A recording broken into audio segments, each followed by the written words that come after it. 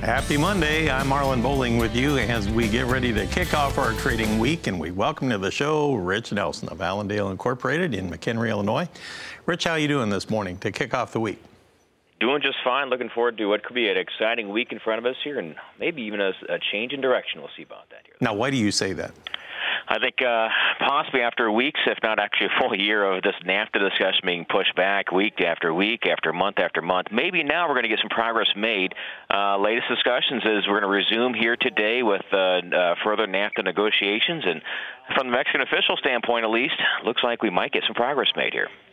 Okay, what does that mean for Canada if they would come to an agreement between the U.S. and Mexico?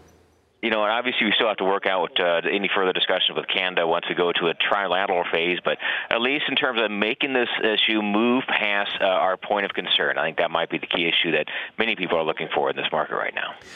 All right, explain something for us, if you would. so you have potentially positive developments here on the trade front.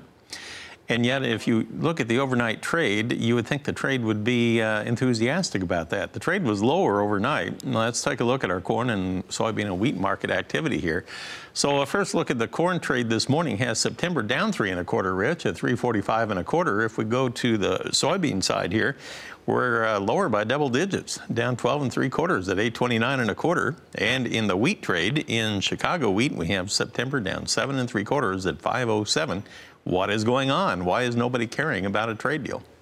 Now, I think the other thing we, we have to deal with here for today's discussion, at least, is the results from the uh, uh, Friday's uh, Pro Farmer uh, release of nationwide yield estimates.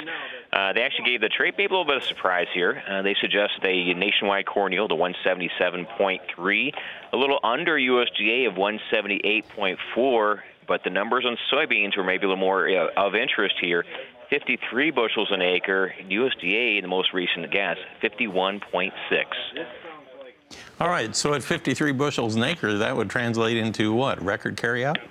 And you know, I certainly could be another addition to what USDA just just last month, 785 million bushels. So we might see something just over 800 million bushels from USDA on the September supply demand report. So uh, what could be a big situation getting bigger uh, on these numbers here. Now, why the weakness in the wheat trade here? And that's definitely a great, uh, great discussion point, especially when looking at the fact that uh, I believe the EU uh, crop monitor, uh, they call themselves Mars, uh, they actually lowered estimates uh, for all kinds of crops around the EU over the weekend, so that actually is a little more uh, bullish. On top, or uh, having said that, though, looks like the trade noting that uh, winter wheat uh, harvest in the U.S. Uh, obviously wrapping up. We are seeing some uh, protein numbers come out of this uh, crop a bit more than last year, so perhaps a better crop in that respect, uh, calming some of the fears about tight uh, tight numbers here. Hmm, interesting. Okay, Rich, sit tight. Uh, we'll come back here in just a little bit and we'll talk about what to expect in our livestock trade on a Monday. Our guest is Rich Nelson, and we'll be back after this. Let's go back to our talk with Rich Nelson of Allendale Incorporated. And Rich, as we look at our livestock trade here this morning, I guess the first item that we need to cover on the agenda would be the cattle on feed report that came out Friday afternoon. We have those numbers in case anyone missed it. Let's take a look. The on feed number officially came in 5% higher than a year ago at 105%. The average trade guess had been hovering around 104 and a half. Now, the placements number, that one, uh, once again, has caught a lot of attention. Uh, the average trade guess, although it was a very wide range, the average guess was 106.4. It came in at 108 percent. And the marketing's number was expected to be around 105% of a year ago or a 5% increase, and it came in right at 105%. So no um, surprise there. But that placements number, you had cautioned everyone last week right here on this program, Rich, that you thought it would be up around 108 point something. Uh, you thought the average trade guess was too low. Well, you nailed it, so hat tip to you. Uh, you were right, uh, very close to being exactly on target with that. What made you think that? You know, really the uh, the sale barn numbers in terms of the volume going through the auction markets here last month. Uh, that's actually factual information, so that gave us the uh, the initial uh, surprise there as far as the, the higher numbers.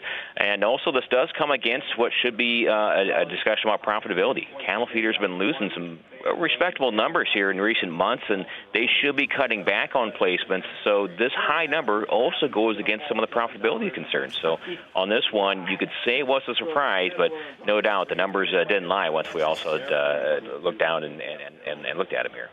When we look at our livestock summary from Friday, we have a cash cattle trade that developed out in the plains, and it looks like the market was, what, down a couple of bucks again from what we had had early in the week, or maybe from the week before. It looks like we were down around $107 per hundredweight out there on a live basis. I'm uh, seeing prices on a dress basis anywhere from about 168 all the way up to 170. That would be uh, three to five lower, I guess, than the previous week on the dress basis sales, huh? Exactly right. I think a trade's a little concerned about the fact we did see some falling prices, despite the fact that uh, numbers uh, for last week's uh, kill was actually a bit lower than the previous week, and obviously we have some numbers this week which uh, which we're going to try and push into uh, the uh, the limited slaughter uh, time frame before next week's uh, holiday-related delays. So on the supply end, maybe some questions, but in general, should see still a continued decline in numbers as we go into September here.